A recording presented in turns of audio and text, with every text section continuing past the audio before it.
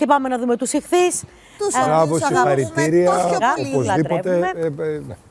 Λοιπόν, α, για τους ηχθείς, να πούμε ότι είναι μια περίοδος πιο κοινωνική για σας, πιο έντονη έτσι, διάθεση ε, και από τη δική σας πλευρά να δείτε κόσμο, α, να είναι μια περίοδος με πολλά ραντεβού, πολλές επαφές στην καθημερινότητά σας, ενδεχομένως για επαγγελματικούς λόγους, μπορεί να είναι συναντήσεις με συνεργάτες, μπορεί να είναι ταξίδια, είτε για αναψυχή, είτε για να συνδυάσετε δουλειά και αναψυχή μαζί.